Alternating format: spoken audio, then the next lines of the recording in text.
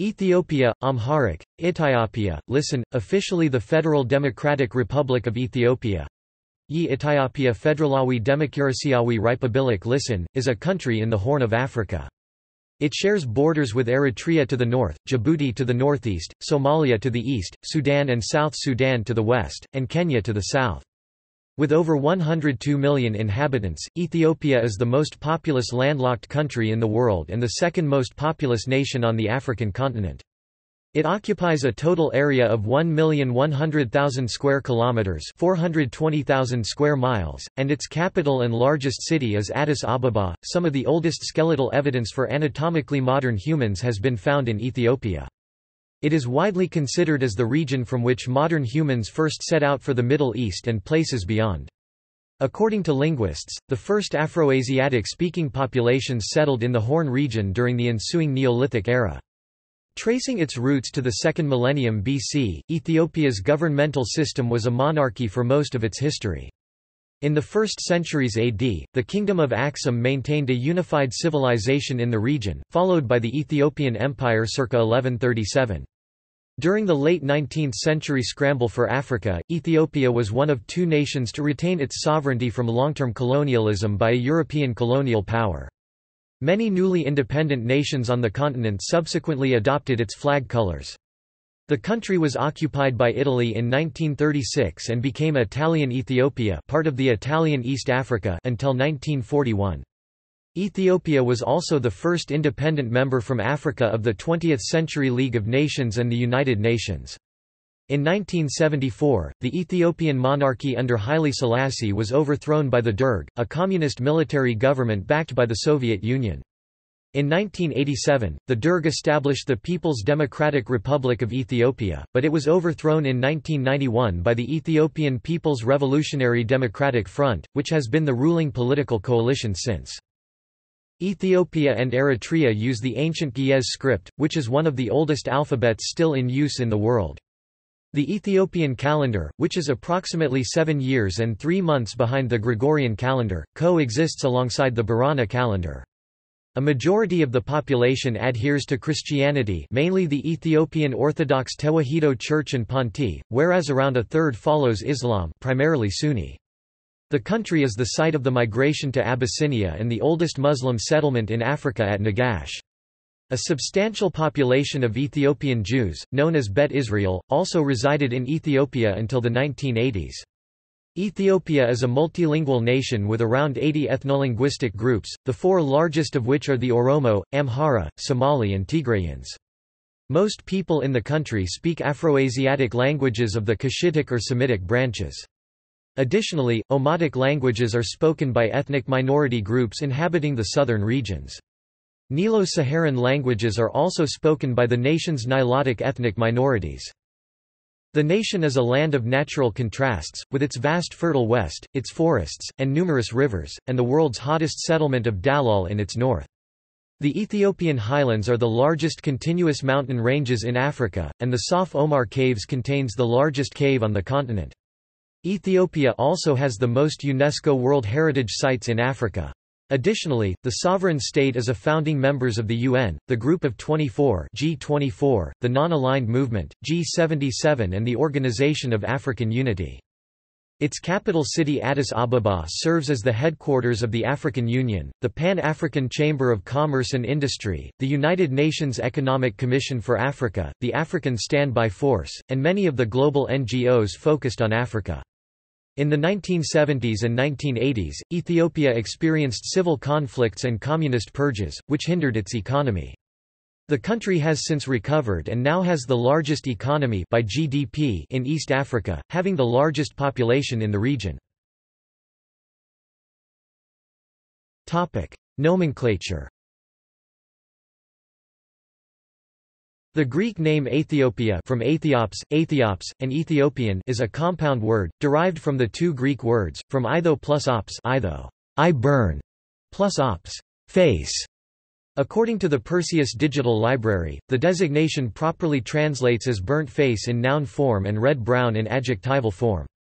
The historian Herodotus used the appellation to denote the parts of Africa below the Sahara that were then known within the Ecumene inhabitable world.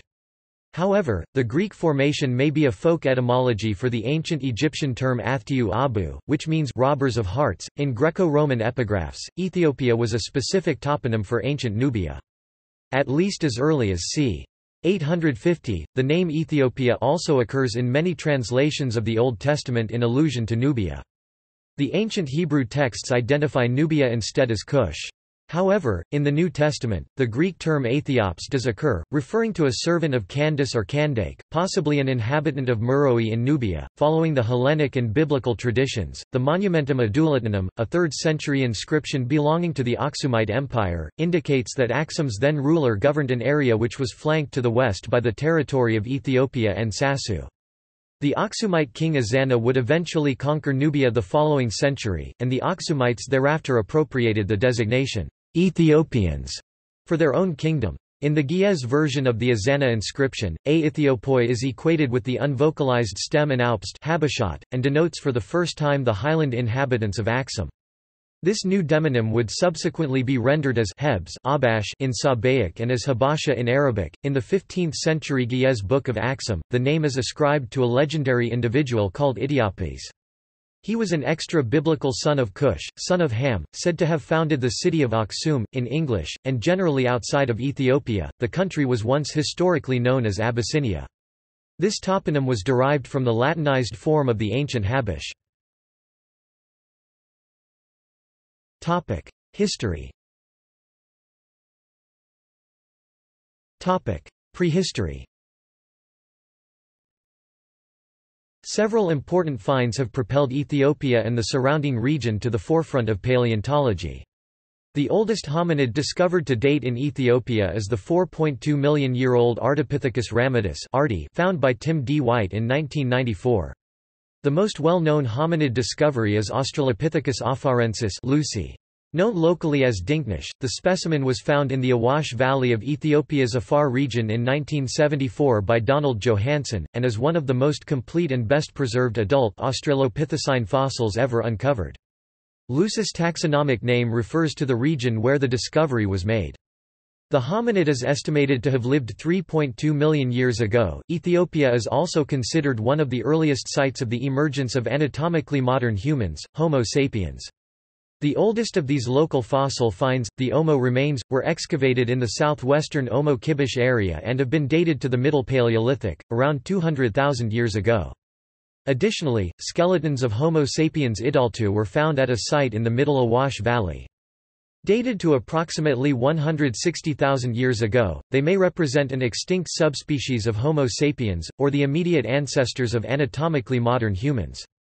Homo sapiens fossils excavated at the Jebel Irhoud site in Morocco have since been dated to an earlier period, about 300,000 years ago. According to linguists, the first Afroasiatic speaking populations arrived in the region during the ensuing Neolithic era from the families proposed Urheimat, original homeland, in the Nile Valley, or the Near East.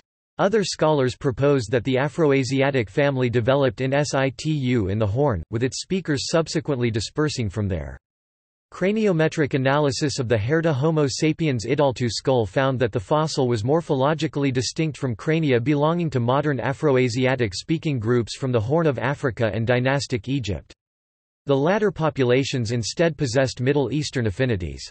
This suggests that the Afroasiatic speaking groups settled in the area during a later epoch, having possibly arrived from the Middle East. Antiquity Around the 8th century BC, a kingdom known as Dimount was established in northern Ethiopia and Eritrea. The polity's capital was located at Yeha, in northern Ethiopia. Most modern historians consider this civilization to be a native Ethiopian one, although Sabaean influenced because of the latter's hegemony of the Red Sea. Other scholars regard D Mount as the result of a union of Afroasiatic speaking cultures of the Cushitic and Semitic branches, namely, local Aga peoples and Sabaeans from South Arabia. However, Ge'ez, the ancient Semitic language of Ethiopia, is thought to have developed independently from Sabaean, one of the South Semitic languages. As early as 2000 BC, other Semitic speakers were living in Ethiopia and Eritrea where Ge'ez developed. Sabaean influence is now thought to have been minor, limited to a few localities, and disappearing after a few decades or a century. It may have been a trading or military colony in alliance with the Ethiopian civilization of Demount or some other Proto-Aksumite state. After the fall of Demount during the 4th century BC, the Ethiopian plateau came to be dominated by smaller successor kingdoms. In the 1st century AD, the kingdom of Aksum emerged in what is now northern Ethiopia and Eritrea. According to the medieval Book of Aksum, the kingdom's first capital, Mazaber, was built by Etiopus, son of Cush. Aksum would later at times extend its rule into Yemen on the other side of the Red Sea. The Persian religious figure Mani listed Aksum with Rome, Persia, and China as one of the four great powers of his era. During the 3rd century, around 316 AD, Frumentius and his brother Edesius from Tyre accompanied their uncle on a voyage to Ethiopia. When the vessel stopped at a Red Sea port, the natives killed all the travelers except the two brothers, who were taken to the court as slaves. They were given positions of trust by the monarch, and they converted members of the royal court to Christianity. Frumentius became the first bishop of Aksum.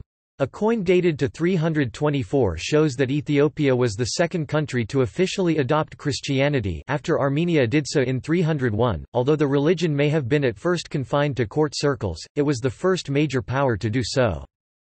As the Aksumite kingdom gradually declined, one of the earliest local Muslim states, the Makhzumi Sultanate, was established in the Shewa region. The polity was governed by the Makhzumi dynasty, which reigned over the province until it was deposed around 1280 by the Walashma dynasty. During Muhammad's era The first interaction that the Islamic prophet Muhammad had with Ethiopia was during the reign of Ashama ibn Abijar, who was at the time the emperor of Aksum and gave refuge to several Muslims in the kingdom of Aksum in 614 AD. According to other authors, Ashama may have been the same person as King Arma, or his father or son. Taddesse Tamrat records that the inhabitants of Wiqro, where the ruler is known as Ashamat al-Nagashi, claim that his tomb is located in their village. Muhammad's second interaction with Ethiopia was during the expedition of Zayd ibn Haritha, when he sent Amr bin Umayyah al-Damri to the king of Ethiopia then Abyssinia. Middle Ages The Zagwe dynasty ruled many parts of present-day Ethiopia and Eritrea between the early 12th and late 13th century. The name of the dynasty is derived from the Cushitic-speaking Aga of northern Ethiopia. From 1270 AD until the Zemene Mesafint Age of Princes, the Solomonic dynasty governed the Ethiopian Empire. In the early 15th century, Ethiopia sought to make diplomatic contact with European kingdoms for the first time since the Aksumite era. A letter from Henry IV of England to the Emperor of Abyssinia survives. In 1428, Yeshak I sent two emissaries to Alfonso V of Aragon, who sent return emissaries. They failed to complete the return trip. The first continuous relations with a European country began in 1508 with Portugal under Dawit II Lebna Dengel, who had just inherited the throne from his father. This proved to be an important development, for when the empire was subjected to the attacks of the Adal Sultanate's general and imam, Ahmad ibn Ibrahim al-Ghazi called Gran, the left-handed, Portugal assisted the Ethiopian emperor by sending weapons and 400 men, who helped his son Gelawdewos defeat Ahmad and re-establish his rule. This Abyssinian Adal War was also one of the first proxy wars in the region, as the Ottoman Empire and Portugal took sides in the conflict. When Emperor Susenyos I converted to Roman Catholicism in 1624, years of revolt and civil unrest followed, resulting in thousands of deaths. The Jesuit missionaries had offended the Ethiopian Orthodox Tewahedo faith of the local Ethiopians. In June 1632 Fasilides, Susenyos' son, declared the state religion again to be the Ethiopian Orthodoxy. He expelled the Jesuit missionaries and other Europeans. Aussa Sultanate The Sultanate of Aussa or Afar Sultanate succeeded the earlier imamate of Aussa. The latter polity had come into existence in 1577 when Muhammad Jasa moved his capital from Harar to Aussa with the split of the Adal Sultanate into the Sultanate of Aussa and the Sultanate of Harar. At some point after 1672, the Sultanate of Aussa declined and temporarily came to an end in conjunction with Imam Umar din bin Adam's recorded ascension to the throne. The Sultanate was subsequently re established by Kedafu around the year 1734. It was thereafter ruled by his Mudaita dynasty. The primary symbol of the Sultan was a silver baton, which was considered to have magical properties. Zemene Mesafint Between 1755 and 1855, Ethiopia experienced a period of isolation referred to as the Zemene Mesafint or Age of Princes. The emperors became figureheads, controlled by warlords like Ras Michael Sehul of Tigray, Ras Wald Selassie of Tigray, and by the Yeju Oromo dynasty, such as Ras Gugsa of Yeju, which later led to 17th-century Oromo rule of Gondar, changing the language of the court from Amharic to Afan Oromo. Ethiopian isolationism ended following a British mission that concluded an alliance between the two nations, but it was not until 1855 that Ethiopia was completely united and the power in the emperor restored, beginning with the reign of Tewodros II. Upon his ascent, he began modernizing Ethiopia and re-centralizing power in the emperor. Ethiopia began to take part in world affairs once again, but Tewodros suffered several rebellions inside his empire. Northern Oromo militias, Tigrayan rebellion, and the constant incursion of Ottoman Empire and Egyptian forces near the Red Sea brought the weakening and the final downfall of Tewodros II. He killed himself in 1868 during his last battle with the British expedition to Abyssinia. Emperor Tewodros II was born in Begemder from a nobleman of Kwara, where the Kwara dialect of Aga language is spoken. After Tewodros' death, Tekle Giyorgis II was proclaimed emperor. He was defeated in the battles of Zulawu, the 21st of June 1871, and Adua, the 11th of July 1871. Kasai was subsequently declared Johannes IV on the 21st of January 1872. In 1875 and 1876, Turkish-Egyptian forces, accompanied by many European and American advisors, twice invaded Abyssinia but were initially defeated, once at the Battle of Gundet losing 800 men, and then in the second invasion, decisively defeated by Emperor Johannes IV at the Battle of Gura on 7 March 1875, where the invading forces lost at least 3,000 men by death or captured. From 1885 to 1889, Ethiopia joined the Mahdist War allied to Britain, Turkey, and Egypt against the Sudanese Mahdist state. On 10 March 1889, Johannes IV was killed by the Sudanese Khalifa Abdullah's army whilst leading his army in the Battle of Galabat also called Battle of Matema.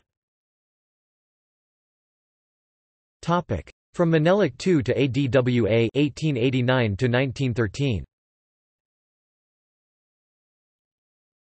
Ethiopia in its roughly current form began under the reign of Menelik II, who was emperor from 1889 until his death in 1913. From his base in the central province of Shewa, Menelik set out to annex territories to the south, east and west, areas inhabited by the Oromo, Sidama, Gurage, Welayta, and other groups. He did this with the help of Ras Gobana Dacche's Shewan Oromo militia, which occupied lands that had not been held since Ahmad ibn Ibrahim al-Ghazi's war, as well as other areas that had never been under Ethiopian sovereignty. Menelik's campaign against Oromos outside his army was largely in retaliation for centuries of Oromo expansionism and the Zemene Mesafint, a period during which a succession of Oromo feudal rulers dominated the highlanders. Chief among these was the Yeju dynasty, which included Aligas of Yeju and his brother Ali I of Yeju. Ali I founded the town of Debre Tabor in the Amhara region, which became the dynasty's capital. Menelik was born from King Hailemelikat of Shewa and his mother Ejegayu Lema Adiyamo who was a servant in the royal household.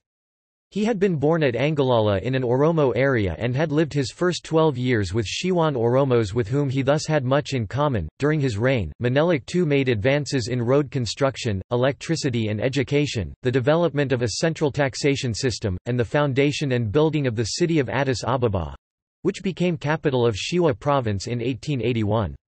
After he ascended to the throne in 1889, it was renamed as Addis Ababa, the new capital of Abyssinia. Menelik had signed the Treaty of Wihale with Italy in May 1889 in which Italy would recognize Ethiopia's sovereignty so long as Italy could control an area north of Ethiopia part of modern Eritrea. In return, Italy was to provide Menelik with weapons and support him as emperor. The Italians used the time between the signing of the treaty and its ratification by the Italian government to expand their territorial claims. This conflict erupted in the Battle of Adwa on 1 March 1896 in which Italy's colonial forces were defeated by the Ethiopians. About a third of the population died in the Great Ethiopian Famine 1888 1892. Topic: Haile Selassie I era (1916–1974) and Italian Ethiopia. The early 20th century was marked by the reign of Emperor Haile Selassie. Haile Selassie I was born to parents from three of Ethiopia's Afroasiatic-speaking populations, the Oromo and Amhara, the country's two largest ethnic groups, as well as the Gurage. He came to power after Iyasu V was deposed, and undertook a nationwide modernization campaign from 1916, when he was made a Ras and regent for the empress regnant, Zewditu, and became the de facto ruler of the Ethiopian Empire. Following Zewditu's death, on 2 November 1930, he succeeded her as emperor. The independence of Ethiopia was interrupted by the Second Italo-Ethiopian War, beginning when it was invaded by Fascist Italy in early October 1935, and Italian occupation of the country 1936 -1941. During this time, Haile Selassie appealed to the League of Nations in 1935, delivering an address that made him a worldwide figure, and the 1935 Time Man of the Year. As the majority of the Ethiopian population lived in rural towns, Italy faced continued resistance and ambushes in urban centers throughout its occupation. Haile Selassie fled into exile in Fairfield House, Bath and Mussolini was able to proclaim the Empire of Ethiopia and the assumption of the imperial title by the Italian king Vittorio Emanuele III, recognized by the countries belonging to the International Organization of the League of Nations. In 1937, the Italian massacre of Yekatit 12, in which many Ethiopians were imprisoned and massacred, took place. This was because of a failed attempt to assassinate Rodolfo Graziani, the viceroy of Italian East Africa. Following the entry of Italy into World War II, British Empire forces, together with the Arbegnach lit. Patriots, referring to armed resistance soldiers restored sovereignty of Ethiopia in the course of the East African Campaign in 1941. An Italian guerrilla campaign continued until 1943. This was followed by British recognition of Ethiopia's full sovereignty, i.e. without any special British privileges, with the signing of the Anglo-Ethiopian Agreement in December 1944. On 26 August 1942, Haile Selassie issued a proclamation that removed Ethiopia's legal basis for slavery. Ethiopia had between 2 and 4 million slaves in the early 20th century, out of a total population of about 11 million. In 1952, Haile Selassie orchestrated the federation with Eritrea. He dissolved this in 1962 and illegally annexed Eritrea against the UN Federation Agreement, which resisted and finally won its war of independence. Haile Selassie played a leading role in the formation of the Organization of African Unity in 1963. Opinion within Ethiopia turned against Haile Selassie I owing to the worldwide oil crisis of 1973. This oil crisis caused a sharp increase in gasoline prices starting on 13 February 1974, food shortages, uncertainty regarding the succession, border wars, and discontent in the middle class created through modernization. The high gasoline prices motivated the taxi drivers and teachers to go on strike on 18 February 1974, and students and workers in Addis Ababa began demonstrating against the government on 20 February 1974. The feudal oligarchical cabinet of Aklilu Habte Wald was toppled, and a new government was formed with Endelkachew Makonnen serving as prime minister. Communist era 1974 to 1991 Haile Selassie's reign came to an end on 12 September 1974, when he was deposed by the Derg, a Soviet-backed Marxist-Leninist military dictatorship led by Mengistu Haile Mariam.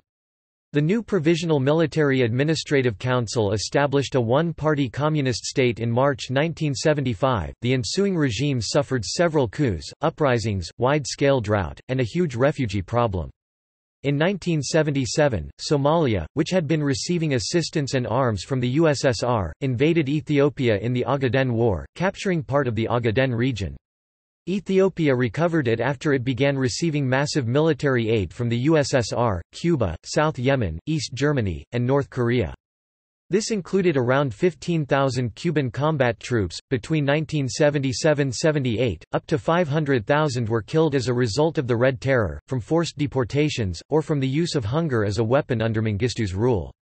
The Red Terror was carried out in response to what the Derg termed as the White Terror, a chain of violent events, assassinations, and killings carried out by what it called petty bourgeois reactionaries, who desired a reversal of the 1974 revolution. The 1983–85 famine in Ethiopia affected around 8 million people, resulting in 1 million dead. Insurrections against communist rule sprang up, particularly in the northern regions of Eritrea and Tigray. In 1989, the Tigrayan People's Liberation Front (TPLF) merged with other ethnically based opposition movements to form the coalition known as the Ethiopian People's Revolutionary Democratic Front (EPRDF). Concurrently, the Soviet Union began to retreat from building world communism under Mikhail Gorbachev's glasnost and perestroika policies, marking a dramatic reduction in aid to Ethiopia from socialist bloc countries. This resulted in more economic hardship and the collapse of the military in the face of determined onslaughts by guerrilla forces in the north. The collapse of Marxism-Leninism in general, and in Eastern Europe during the revolutions of 1989, coincided with the Soviet Union stopping aid to Ethiopia altogether in 1990. The strategic outlook for Mengistu quickly deteriorated. In May 1991, EPRDF forces advanced on Addis Ababa and the Soviet Union did not intervene to save the government side. Mengistu fled the country and was granted asylum in Zimbabwe, where he still resides. In 2006, after a trial that lasted 12 years, Ethiopia's Federal High Court in Addis Ababa found Mengistu guilty of genocide in absentia. Numerous other top leaders of his regime were also found guilty of war crimes. Mengistu and others who had fled the country were tried and sentenced in absentia. Numerous former officials received the death sentence and tens of others spent the next 20 years in jail, before being pardoned from life sentences. In July 1991, EPRDF convened a national conference to establish the Transitional Government of Ethiopia composed of an 87 member Council of Representatives and guided by a national charter that functioned as a transitional constitution. In June 1992, the Oromo Liberation Front withdrew from the government. In March 1993, members of the Southern Ethiopia People's Democratic Coalition also left the government. In 1994, a new constitution was written that established a parliamentary republic with a bicameral legislature and a judicial system. Topic: Federal Democratic Republic 1991 present.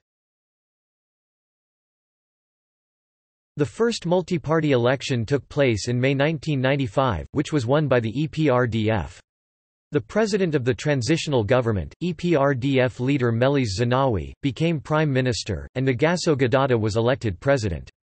In May 1998, a border dispute with Eritrea led to the Eritrean-Ethiopian War, which lasted until June 2000 and cost both countries an estimated $1 million a day. This had a negative effect on Ethiopia's economy, but strengthened the ruling coalition. Ethiopia's third multi party election on 15 May 2005 was highly disputed, with some opposition groups claiming fraud. Though the Carter Center approved the pre election conditions, it expressed its dissatisfaction with post election events. European Union election observers cited state support for the EPRDF campaign, as well as irregularities in ballot counting and results publishing. The opposition parties gained more than 200 parliamentary seats, compared with just 12 in the 2000 elections. While most of the opposition representatives joined the parliament, some leaders of the CUD party who refused to take up their parliamentary seats were accused of inciting the post-election violence and were imprisoned. Amnesty International considered them prisoners of conscience and they were subsequently released. A coalition of opposition parties and some individuals was established in 2009 to oust the regime of the EPRDF in legislative elections of 2010. Meles Party, which has been in power since 1991, published its 65-page manifesto in Addis Ababa on 10 October 2009. The opposition won most votes in Addis Ababa, but the EPRDF halted counting of votes for several days. After it ensued, it claimed the election, amidst charges of fraud and intimidation. Some of the eight member parties of the Medrek Forum for Democratic Dialogue include the Oromo Federalist Congress organized by the Oromo Federalist Democratic Movement and the Oromo People's Congress, the Arena Tigray organized by former members of the ruling party TPLF, the Unity for Democracy and Justice UDJ, whose leader is imprisoned, and the Coalition of Somali Democratic Forces. In mid-2011, two consecutively missed rainy seasons precipitated the worst drought in East Africa seen in 60 years. Full recovery from the drought's effects did not occur until 2012, with long-term strategies by the national government in conjunction with development agencies believed to offer the most sustainable results. Meles died on 20 August 2012 in Brussels, where he was being treated for an unspecified illness. Deputy Prime Minister Hailemariam Desalegn was appointed as a new Prime Minister until the 2015 elections, and remained so afterwards with his party in control of every parliamentary seat. Protests broke out across the country on 5 August 2016 and dozens of protesters were subsequently shot and killed by police. The protesters demanded an end to human rights abuses, the release of political prisoners, a fairer redistribution of the wealth generated by over a decade of economic growth, and a return of Wolkate district to the Amhara region. The events were the most violent crackdown against protesters in sub-Saharan Africa since the Ethiopian regime killed at least 75 people during protests in the Oromia region in November and December 2015. Following these protests, Ethiopia declared a state of emergency on 6 October 2016. The state of emergency was lifted in August 2017. Up to 400,000 have been displaced by the Oromo Somali clashes in 2017. More than 1.2 million people have been displaced by inter-ethnic violence in 2018. On 16 and the 17th of September 2018 in the minorities protest that took place in Oromo near the Ethiopian capital Addis Ababa, 23 people were killed. On February 16, 2018, the government of Ethiopia declared a 6-month nationwide state of emergency following the resignation of Prime Minister Hailemariam Desalegn. Hailemariam is the first ruler in modern Ethiopian history to step down, previous leaders have died in office or been overthrown. He said he wanted to clear the way for reforms. His successor, Abiy Ahmed, made a historic visit to Eritrea in 2018, ending the state of conflict between the countries. Politics The politics of Ethiopia takes place in a framework of a federal parliamentary republic, wherein the prime minister is the head of government. Executive power is exercised by the government. Federal legislative power is vested in both the government and the two chambers of parliament. On the basis of Article 78 of the 1994 Ethiopian constitution, the judiciary is completely independent of the executive and the legislature. The current realities of this provision are questioned in a report prepared by Freedom House. According to the Democracy Index published by the United Kingdom-based Economist Intelligence Unit in late 2010, Ethiopia is an authoritarian regime, ranking as the 118th most democratic out of 167 countries. Ethiopia has dropped 12 places on the list since 2006, and the latest report attributes the drop to the government's crackdown on opposition activities, media and civil society before the 2010 parliamentary election, which the report argues has made Ethiopia a de facto one-party state. In July 2015, during a trip that then U.S. President Barack Obama took to Ethiopia, he highlighted the role of the country in the fight against Islamic terrorism. Obama was the first sitting United States president to visit Ethiopia. Governance The election of Ethiopia's 547-member Constituent Assembly was held in June 1994. This assembly adopted the Constitution of the Federal Democratic Republic of Ethiopia in December 1994. The elections for Ethiopia's first popularly chosen national parliament and regional legislatures were held in May and June 1995. Most opposition parties chose to boycott these elections. There was a landslide victory for the Ethiopian People's Revolutionary Democratic Front. International and non-governmental observers concluded that opposition parties would have been able to participate had they chosen to do so. The current government of Ethiopia was installed in August 1995. The first president was Negaso Gidada. The EPRDF-led government of Prime Minister Meles Zenawi promoted a policy of ethnic federalism, devolving significant powers to regional, ethnically based authorities. Ethiopia today has nine semi-autonomous administrative regions that have the power to raise and spend their own revenues. Under the present government, some fundamental freedoms, including freedom of the press, are circumscribed, citizens have little access to media other than the state-owned networks, and most private newspapers struggle to remain open and suffer periodic harassment from the government. At least 18 journalists who had written articles critical of the government were arrested following the 2005 elections on genocide and treason charges. The government uses press laws governing libel to intimidate journalists who are critical of its policies. Meles government was elected in 2000 in Ethiopia's first ever multi-party elections. However, the results were heavily criticized by international observers and denounced by the opposition as fraudulent. The EPRDF also won the 2005 election returning Meles to power. Although the opposition vote increased in the election, both the opposition and observers from the European Union and elsewhere stated that the vote did not meet international standards for fair and free elections. Ethiopian police are said to have massacred 193 protesters, mostly in the capital Addis Ababa, in the violence following the May 2005 elections in the Ethiopian police massacre. The government initiated a crackdown in the provinces as well. In Oromia state, the authorities used concerns over insurgency and terrorism to use torture, imprisonment, and other repressive methods to silence critics following the election, particularly people sympathetic to the registered opposition party Oromo National Congress. The government has been engaged in a conflict with rebels in the Ogaden region since 2007. The biggest opposition party in 2005 was the Coalition for Unity and Democracy CUD. After various internal divisions, most of the CUD party leaders have established the new Unity for Democracy and Justice party led by Judge Birtukan Mideksa. A member of the country's Oromo ethnic group, Ms. Birtukan Mideksa is the first woman to lead a political party in Ethiopia. In 2008, the top five opposition parties were the Unity for Democracy and Justice led by Judge Birtukan Mideksa, United Ethiopian Democratic Forces led by Dr. Beyene Petros, Oromo Federalist Democratic Movement led by Dr. Bulcha Demeksa, Oromo People's Congress led by Dr. Merera Gudina, and United Ethiopian Democratic Party, Medon Party led by Lidetu Ayalew. After the 2015 elections, Ethiopia lost its single remaining opposition MP. There are now no opposition MPs in the Ethiopian parliament. Human rights Recent human rights violations include the killing of 100 peaceful protesters by direct government gunfire in the Oromo and Amhara regions in 2016. The UN has called for UN observers on the ground in Ethiopia to investigate this incident, however the EPRDF-dominated Ethiopian government has refused this call. The protesters are protesting land grabs and lack of basic human rights such as the freedom to elect their representatives.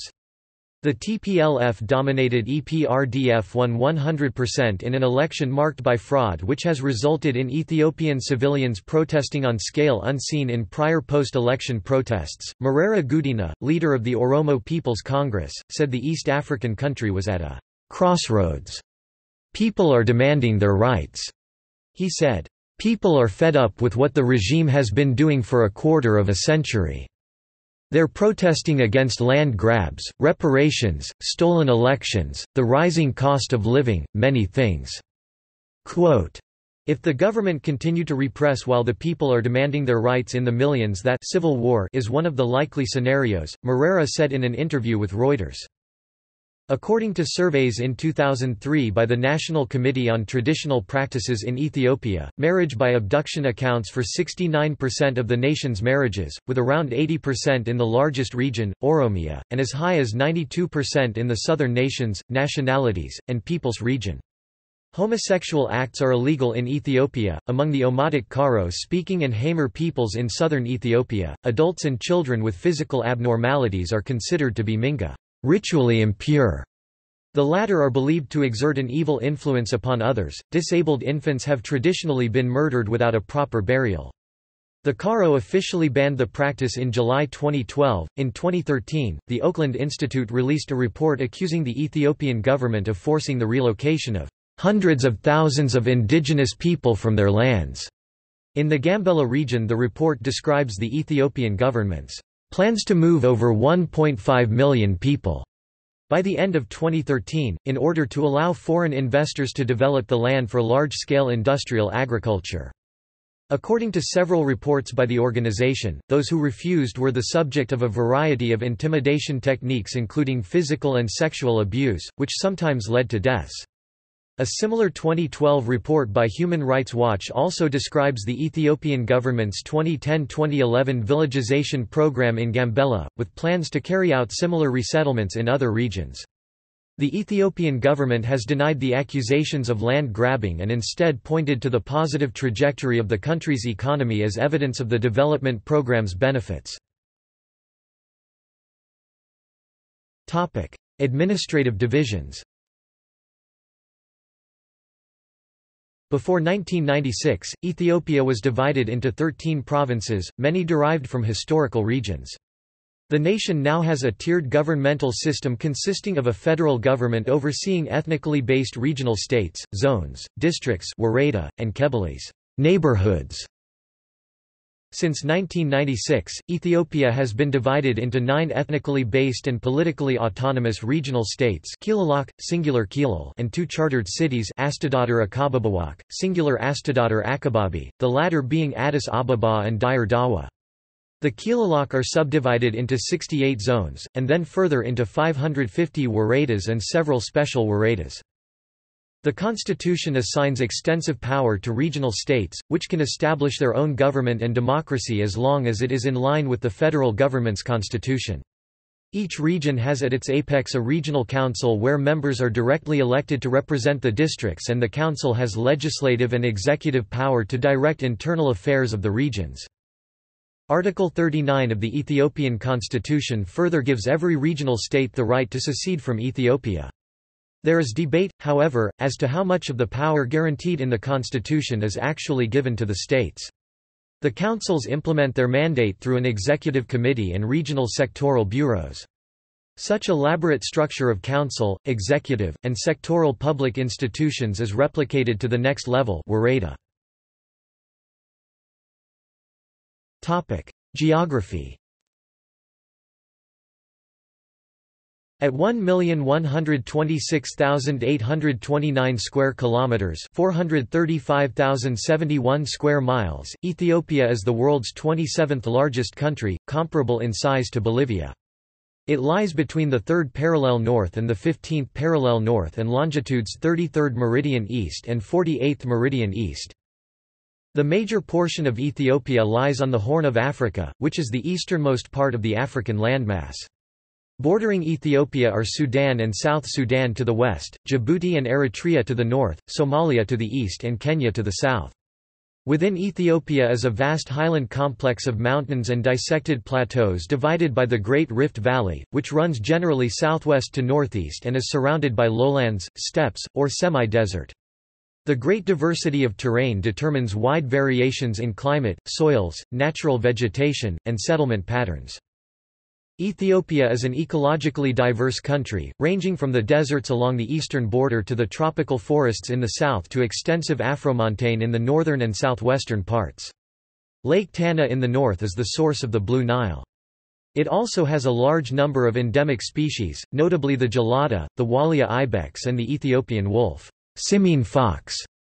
The wide range of altitude has given the country a variety of ecologically distinct areas, and this has helped to encourage the evolution of endemic species in ecological isolation. Climate The predominant climate type is tropical monsoon, with wide topographic-induced variation. The Ethiopian highlands cover most of the country and have a climate which is generally considerably cooler than other regions at similar proximity to the equator. Most of the country's major cities are located at elevations of around 2,000 to 2,500 meters (6,562 to 8,202 feet) above sea level, including historic capitals such as Gondar and Aksum. The modern capital, Addis Ababa, is situated on the foothills of Mount Entoto at an elevation of around 2,400 metres 7,900 feet. It experiences a mild climate year-round.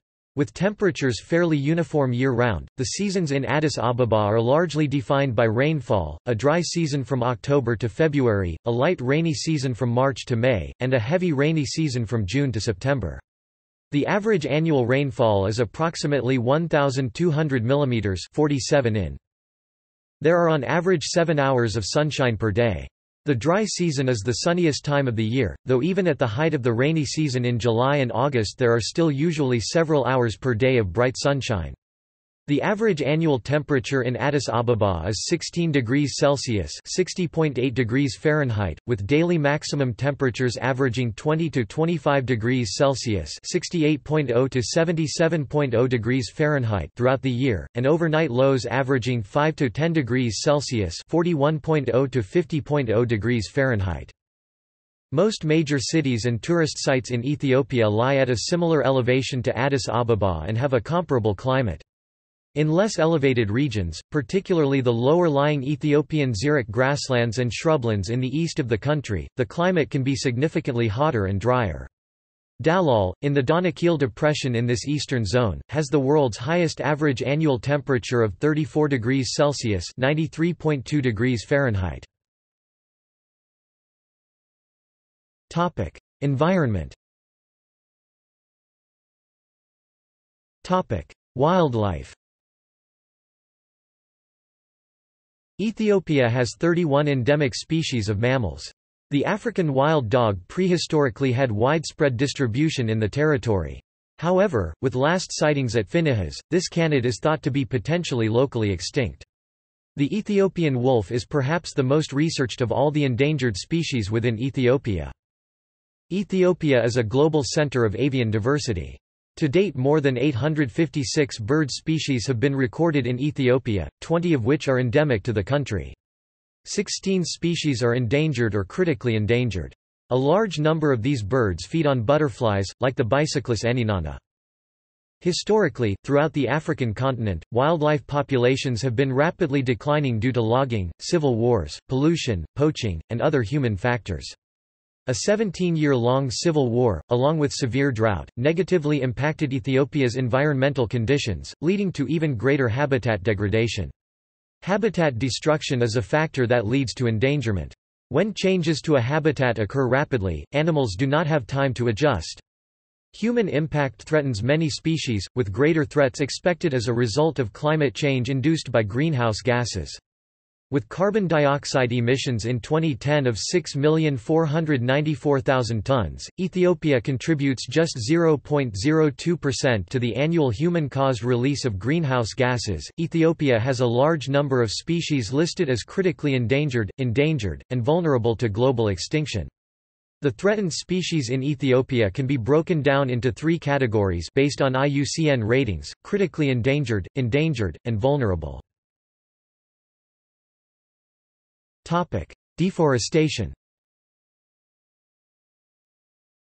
Ethiopia is one of the eight fundamental and independent centers of origin for cultivated plants in the world.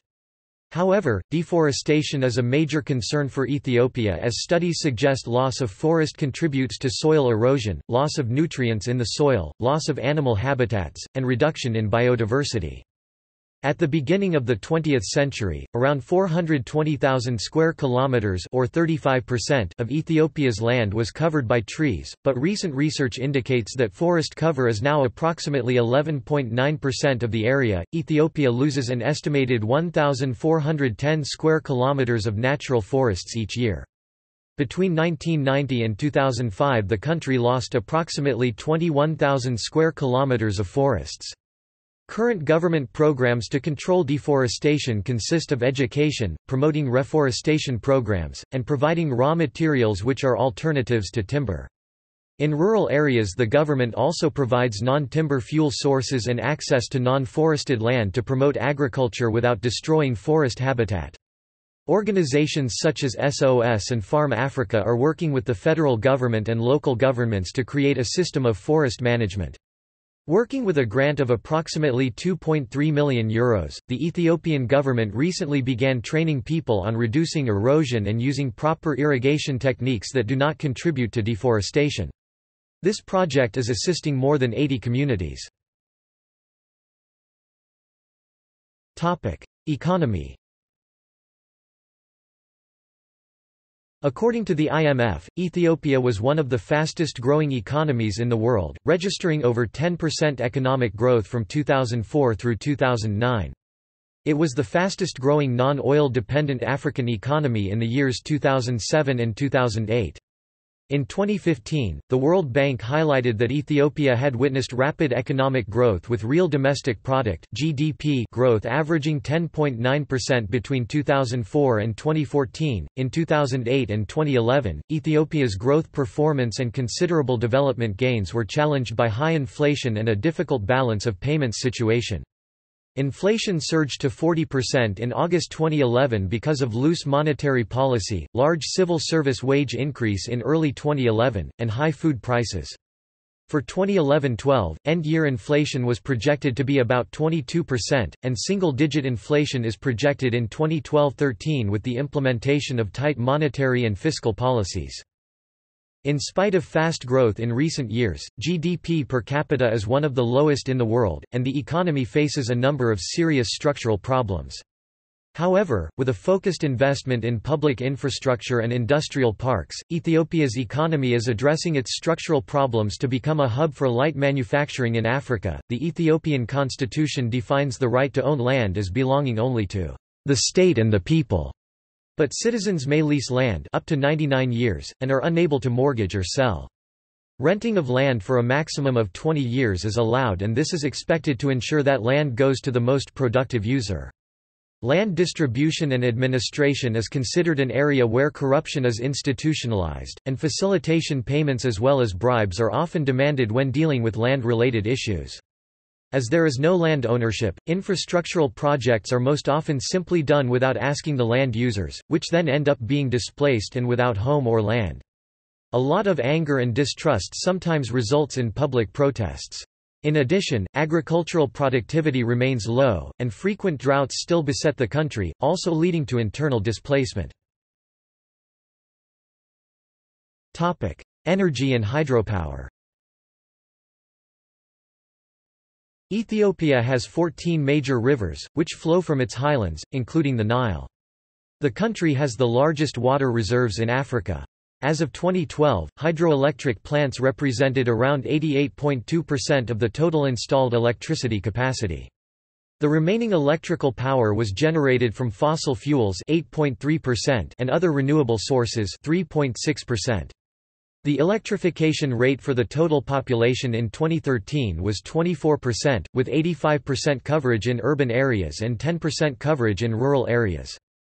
As of 2014, total electricity production was 9.5 billion kilowatt-hours and consumption was 6.7 billion kilowatt-hours.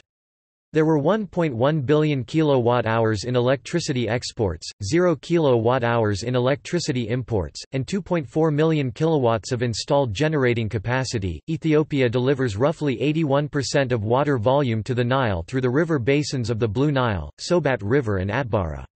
In 1959, Egypt and Sudan signed a bilateral treaty, the 1959 Nile Waters Agreement, which gave both countries exclusive maritime rights over the Nile waters.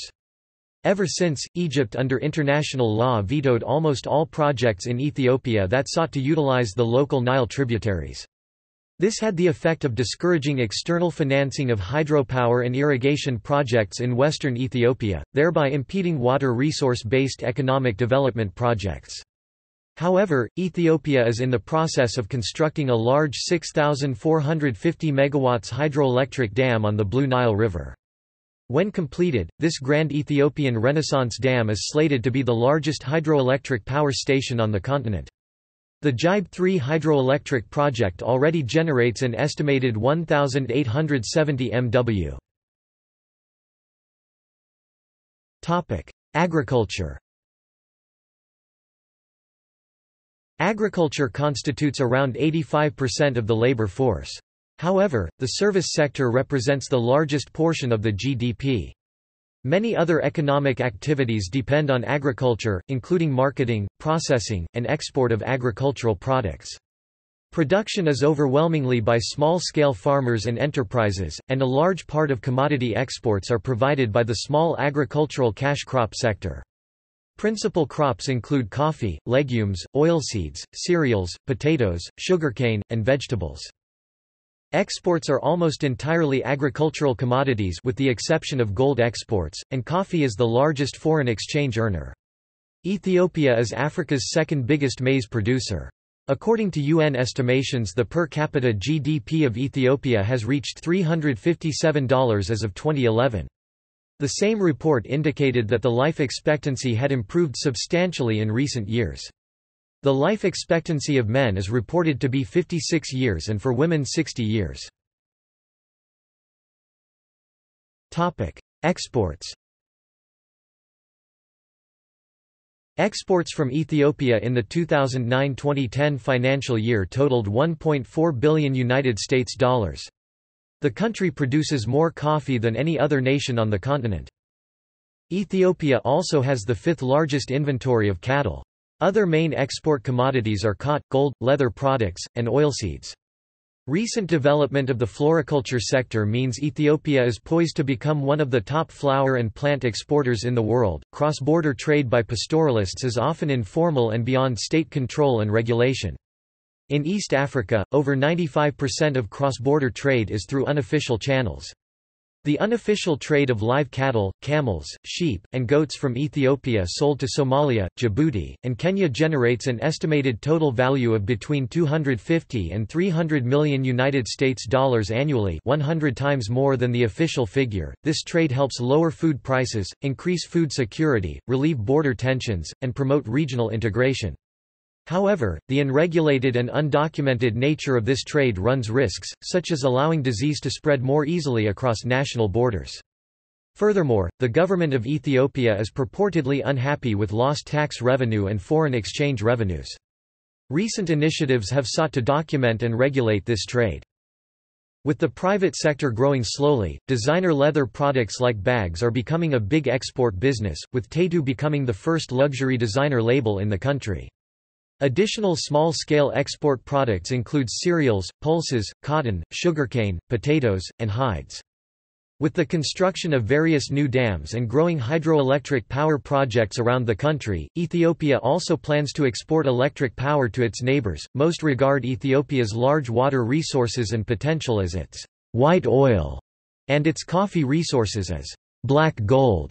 The country also has large mineral resources and oil potential in some of the less inhabited regions. Political instability in those regions, however, has inhibited development. Ethiopian geologists were implicated in a major gold swindle in 2008. Four chemists and geologists from the Ethiopian Geological Survey were arrested in connection with a fake gold scandal, following complaints from buyers in South Africa. Gold bars from the National Bank of Ethiopia were found by police to be gilded metal, costing the state around 17 million United States dollars. According to the Science and Development Network website, in 2011, the Grand Ethiopian Renaissance Dam project was commenced. When completed, it will provide surplus energy in Ethiopia which will be available for export to neighboring countries. Topic: Transportation Ethiopia has 926 kilometers of electrified 1435 mm 4 feet 8 and a half in standard gauge railways, 656 kilometers for the Addis Ababa Djibouti railway between Addis Ababa and the port of Djibouti via Awash and 270 kilometers for the Awash Hara Gebbia railway between Addis Ababa and the twin cities of Dessie Kombolcha also via Awash.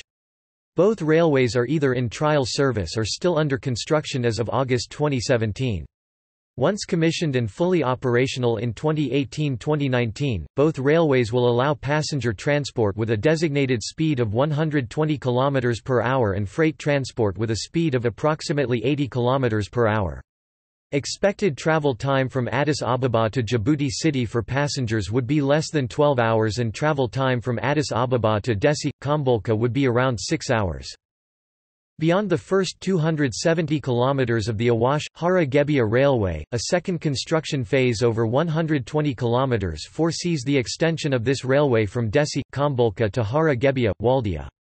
It is not clear, when this section will be built and opened. A third, northern 216 km long railway is also under construction between Mekele and Waldia, but it is also not clear, when this railway will be commissioned and opened. All railways are part of a future railway network of more than 5,000 km of railways, the National Railway Network of Ethiopia. As the first part of a 10-year road sector development program, between 1997 and 2002 the Ethiopian government began a sustained effort to improve its infrastructure of roads. As a result, as of 2015 Ethiopia has a total federal and regional of 100,000 kilometers of roads, both paved and gravel. Ethiopia had 58 airports as of 2012 and 61 as of 2016. Among these, the Bole International Airport in Addis Ababa and the Aba Tena Dejazmach Yilma International Airport in Dire Dawa accommodate international flights. Ethiopian Airlines is the country's flag carrier, and is wholly owned by the Government of Ethiopia. From its hub at the Bole International Airport, the airline serves a network of 102 international 20 domestic passenger, and 44 cargo, destinations. It is also one of the fastest growing carriers in the industry and continent. Demographics Ethiopia's population has grown from 33.5 million in 1983 to 87.9 million in 2014. The population was only about 9 million in the 19th century. The 2007 population and housing census results show that the population of Ethiopia grew at an average annual rate of 2.6% between 1994 and 2007, down from 2.8% during the period 1983 to 1994. Currently, the population growth rate is among the top 10 countries in the world. The population is forecast to grow to over 210 million by 2060, which would be an increase from 2011 estimates by a factor of about 2.5. The country's population is highly diverse, containing over 80 different ethnic groups. According to the Ethiopian National Census of 2007, the Oromo are the largest ethnic group in Ethiopia, at 34.4% of the nation's population. The Amhara represent 27.0% of the country's inhabitants, while Somalis and Tigrayans represent 6.22% and 6.08% of the population, respectively.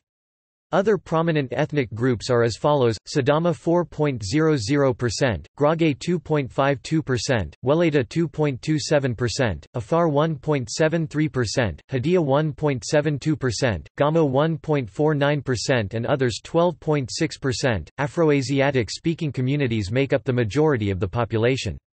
Among these, Semitic speakers often collectively refer to themselves as the Habesha people. The Arabic form of this term al-Habasha is the etymological basis of Abyssinia, the former name of Ethiopia in English and other European languages. Additionally, Nilo-Saharan speaking ethnic minorities inhabit the southern regions of the country, particularly in areas of the Gambela region which borders South Sudan.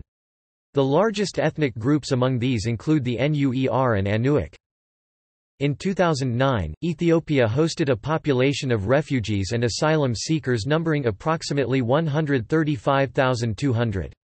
The majority of this population came from Somalia approximately 64,300 persons, Eritrea 41,700 and Sudan 25,900. The Ethiopian government required nearly all refugees to live in refugee camps. Languages According to Ethnologue, there are 90 individual languages spoken in Ethiopia. Most people in the country speak Afroasiatic languages of the Cushitic or Semitic branches. The former includes Oromifa, spoken by the Oromo, and Somali, spoken by the Somalis, the latter includes Amharic, spoken by the Amhara, and Tigrinya, spoken by the Tigrayans.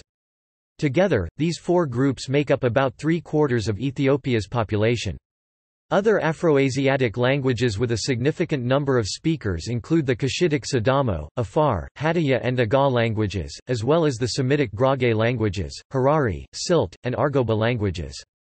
Arabic, which also belongs to the Afroasiatic family, is likewise spoken in some areas. Additionally, Omotic languages are spoken by Omotic ethnic minority groups inhabiting the southern regions.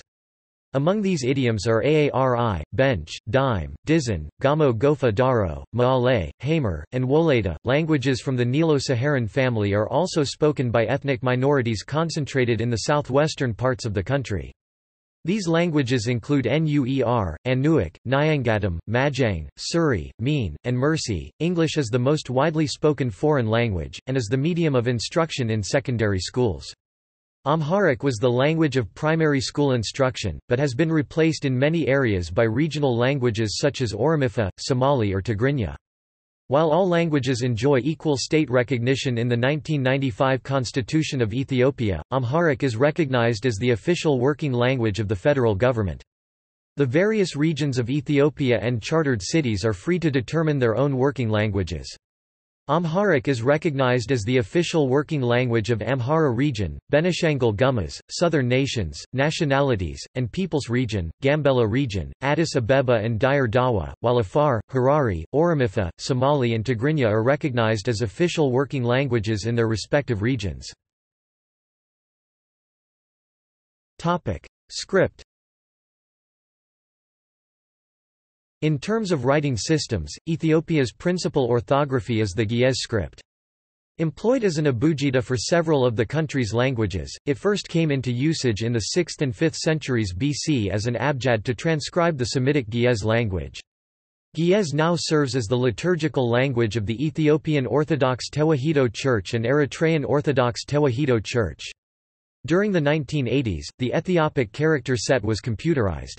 It is today part of the Unicode standard as Ethiopic, Ethiopic Extended, Ethiopic Supplement and Ethiopic Extended A.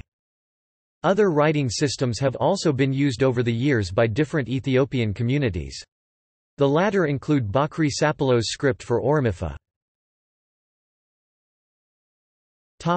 Religion Ethiopia has close historical ties with all three of the world's major Abrahamic religions. In the 4th century, the Ethiopian Empire was one of the first in the world to officially adopt Christianity as the state religion. As a result of the resolutions of the Council of Chalcedon, in 451 the Miaphysites, which included the vast majority of Christians in Egypt and Ethiopia, were accused of Monophysitism and designated as heretics under the common name of Coptic Christianity see Oriental Orthodoxy. While no longer distinguished as a state religion, the Ethiopian Orthodox Tewahedo Church remains the majority Christian denomination. There is also a substantial Muslim demographic, representing around a third of the population. Additionally, Ethiopia is the site of the first Hijra, a major emigration in Islamic history. A town in the Tigray region, Negash is the oldest Muslim settlement in Africa. Until the 1980s, a substantial population of Beta Israel Ethiopian Jews resided in Ethiopia. According to the 2007 national census, Christians make up 62.8% of the country's population, 43.5% Ethiopian Orthodox, 19.3% other denominations, Muslims 33.9%, practitioners of traditional faiths 2.6%, and other religions 0.6%. This is in agreement with the CIA World Factbook, which states that Christianity is the most widely practiced religion in Ethiopia. The ratio of the Christian to Muslim population has largely remained stable when compared to previous censuses conducted decades ago. Sunnis form the majority of Muslims with non-denominational Muslims being the second largest group of Muslims, and the Shia and Ahmadiyas are a minority. Sunnis are largely Shafi'is or Salafis, and there are also many Sufi Muslims there. The large Muslim population in the northern Afar region has resulted in a Muslim separatist movement called the Islamic State of Afaria. Seeking a Sharia-compliant constitution, the Kingdom of Aksum was one of the first polities to officially embrace Christianity, when Frumentius of Tyre, called Fremnatos or Abba Salama, father of peace, in Ethiopia, converted Emperor Ezana during the 4th century. According to the New Testament, Christianity had entered Ethiopia even earlier, when an official in the Ethiopian royal treasury was baptized by Philip the Evangelist. The Ethiopian Orthodox Tewahedo Church is part of Oriental Orthodoxy. It is by far the largest Christian denomination, although a number of P'ent'ay Protestant churches have recently gained ground. Since 1930, a relatively small Ethiopian Catholic Church has existed in full communion with Rome, with adherents making up less than 1% of the total population. Islam in Ethiopia dates back to the founding of the religion in 622 when a group of Muslims were counseled by Muhammad to escape persecution in Mecca. The disciples subsequently migrated to Abyssinia via modern-day Eritrea, which was at the time ruled by Ashama ibn Abjar, a pious Christian emperor. Also, the largest single ethnic group of non-Arab Sahaba was that of the Ethiopians. A small ancient group of Jews, the Beta Israel, live in northwestern Ethiopia, though most immigrated to Israel in the last decades of the 20th century as part of the Israeli government's relocation missions, Operation Moses and Operation Solomon. According to the 2007 population and housing census, around 1,957,944 people in Ethiopia are adherents of traditional religions. An additional 471,861 residents practice other creeds. While followers of all religions can be found in each region, they tend to be concentrated in certain parts of the country. Christians predominantly live in the northern Amhara and Tigray regions, and are largely members of the non-Chalcedonian Ethiopian Orthodox Tewahedo Church. Those belonging to P'ent'ay are centered in the Southern Nations, Nationalities, and Peoples Region and Oromia. Muslims in Ethiopia predominantly adhere to Sunni Islam and generally inhabit eastern and northeastern areas, particularly the Somali, Afar, Dire Dawa and Harari regions.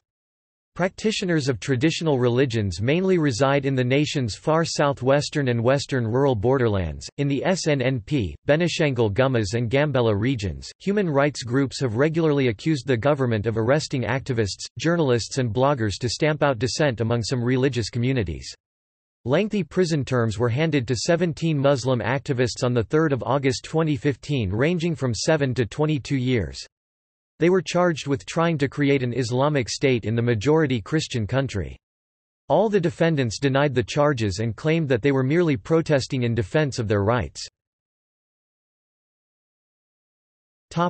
Urbanization Population growth, migration, and urbanization are all straining both governments and ecosystems' capacity to provide people with basic services. Urbanization has steadily been increasing in Ethiopia, with two periods of significantly rapid growth. First, in 1936–1941 during the Italian occupation of Mussolini's fascist regime, and from 1967 to 1975 when the populations of urban centers tripled. In 1936, Italy annexed Ethiopia, building infrastructure to connect major cities, and a dam providing power and water. This along with the influx of Italians and laborers was the major cause of rapid growth during this period. The second period of growth was from 1967 to 1975 when rural populations migrated to urban centers seeking work and better living conditions. This pattern slowed due to the 1975 land reform program instituted by the government, which provided incentives for people to stay in rural areas.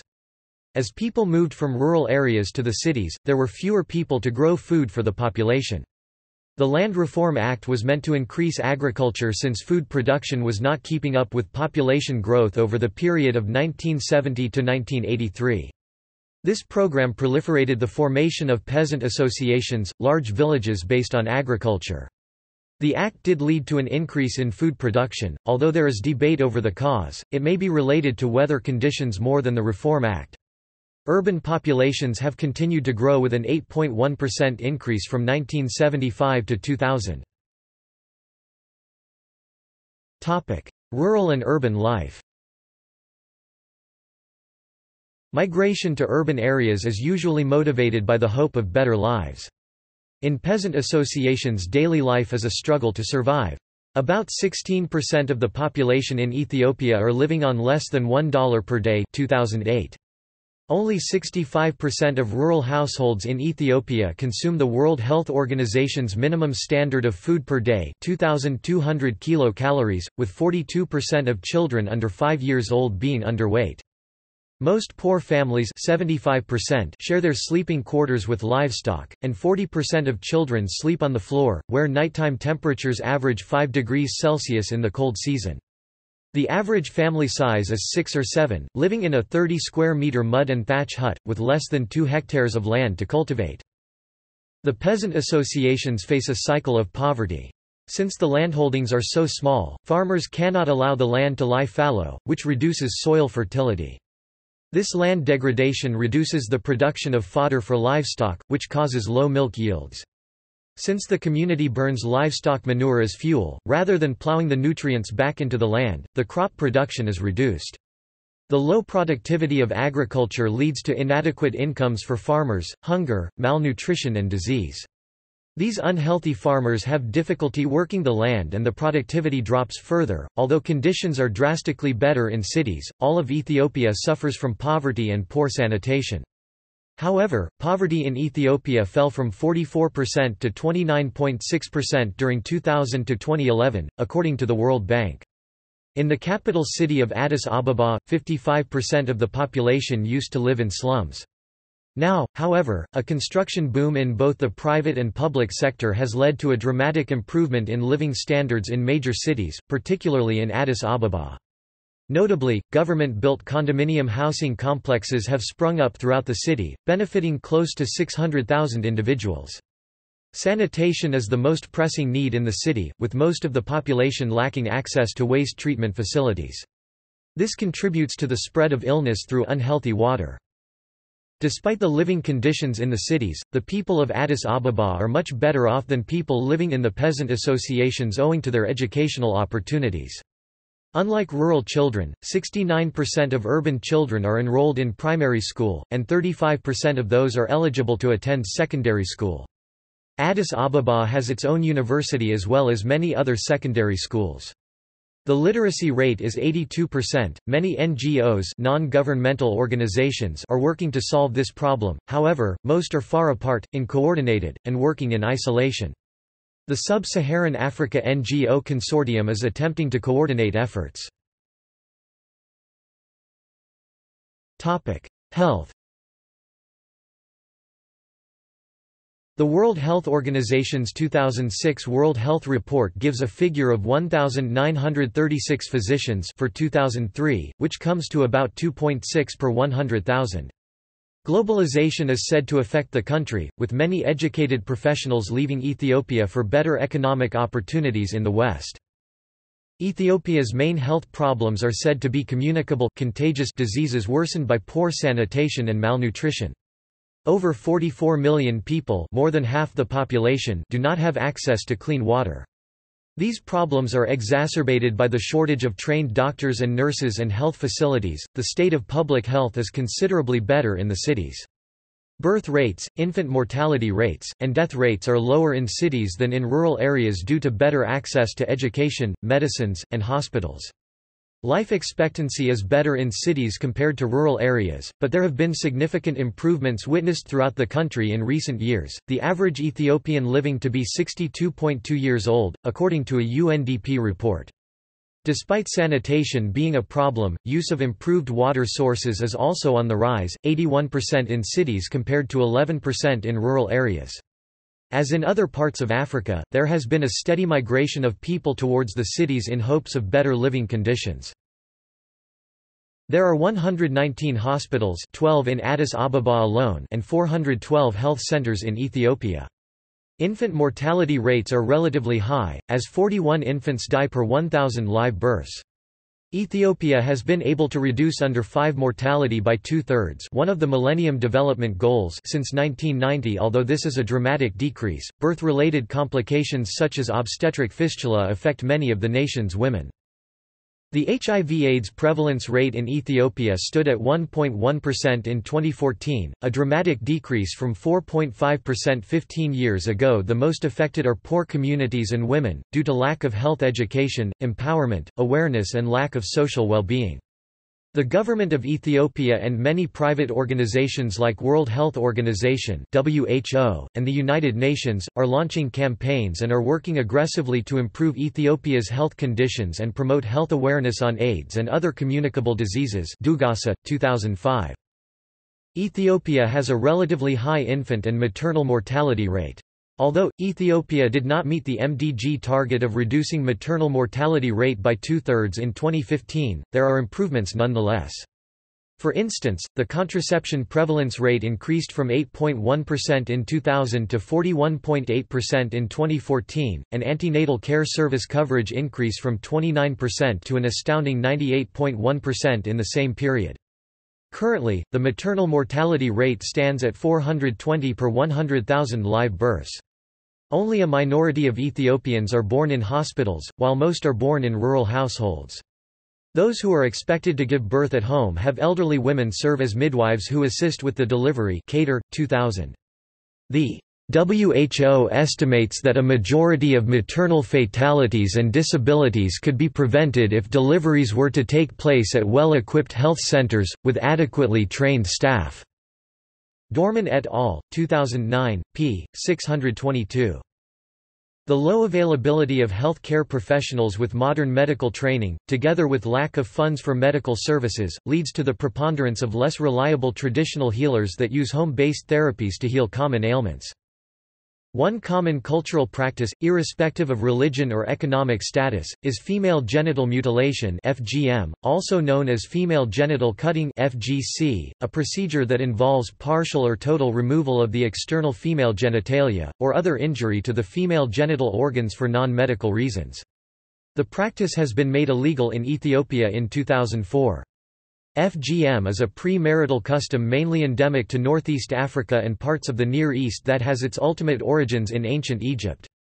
Encouraged by women in the community, it is primarily intended to deter promiscuity and to offer protection from assault. The country has a high prevalence of FGM, but prevalence is lower among young girls. Ethiopia's 2005 Demographic and Health Survey noted that the national prevalence rate is 74% among women ages 15 to 49. The practice is almost universal in the regions of Dire Dawa, Somali, and Afar. In the Oromo and Harari regions, more than 80% of girls and women undergo the procedure. FGC is least prevalent in the regions of Tigray and Gambela, where 29% and 27% of girls and women, respectively, are affected. According to a 2010 study performed by the Population Reference Bureau, Ethiopia has a prevalence rate of 81% among women ages 35 to 39 and 62% among women ages 15 to 19. A 2014 UNICEF report found that only 24% of girls under 14 had undergone FGM. Male circumcision is also practiced in the country, and about 76% of Ethiopia's male population is reportedly circumcised. The government of the Federal Republic of Ethiopia is signatory to various international conventions and treaties that protect the rights of women and children. Its constitution provides for the fundamental rights and freedoms for women. There is an attempt being made to raise the social and economic status of women through eliminating all legal and customary practices, which hinder women's equal participation in society and undermine their social status. Education Education in Ethiopia was dominated by the Tewahedo Church for many centuries until secular education was adopted in the early 1900s. The current system follows school expansion schemes which are very similar to the system in the rural areas during the 1980s, with an addition of deeper regionalization, providing rural education in students' own languages starting at the elementary level, and with more budget finances allocated to the education sector. The sequence of general education in Ethiopia is six years of primary school, four years of lower secondary school and two years of higher secondary school. Access to education in Ethiopia has improved significantly. Approximately 3 million people were in primary school in 1994–95, and by 2008–09, primary enrollment had risen to 15.5 million, an increase of over 500%. In 2013–14, the country had witnessed significant boost in gross enrollment across all regions. The national GER was 104.8% for boys, 97.8% for girls, and 101.3% across both sexes. The literacy rate has increased in recent years. According to the 1994 census, the literacy rate in Ethiopia was 23.4%. In 2007 it was estimated to be 39% male 49.1% and female 28.9%. A report by UNDP in 2011 showed that the literacy rate in Ethiopia was 46.7%. The same report also indicated that the female literacy rate has increased from 27 to 39% from 2004 to 2011, and the male literacy rate has increased from 49 to 59% over the same period for persons 10 years and older. By 2015, the literacy rate had further increased, to 49.1% 57.2% male and 41.1% female. Culture Naming Ethiopians have a different naming system to the family name-based Western system. Children add the given names of their father and paternal grandfather consecutively to their own given name. For compatibility purposes, as is done in passports, the grandfather's given name is taken as a family surname, and a person's given name and their father's given name form the first name. Everyone is addressed by their given name. In official situations, the prefixes auto, is used for men, weyzero, for married women, and weyzerit, for unmarried women. Calendar Ethiopia has several local calendars. The most widely known is the Ethiopian calendar, also known as the Ge'ez calendar. It is based on the older Alexandrian or Coptic calendar, which in turn derives from the Egyptian calendar. Like the Coptic calendar, the Ethiopian calendar has 12 months of exactly 30 days each plus 5 or 6 epagomenal days, which comprise a 13th month. The Ethiopian months begin on the same days as those of the Coptic calendar, but their names are in Ge'ez. Like the Julian calendar, the sixth epagomenal day—which in essence is a leap day—is added every four years without exception on 29 August of the Julian calendar, six months before the Julian leap day.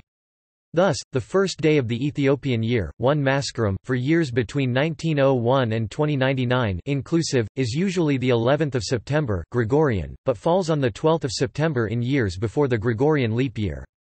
Also, a 7 to 8 year gap between the Ethiopian and Gregorian calendars results from an alternate calculation in determining the date of the Annunciation of Jesus. Another prominent calendrical system was developed around 300 BC by the Oromo. A lunar stellar calendar, this Oromo calendar relies on astronomical observations of the Moon in conjunction with seven particular stars or constellations.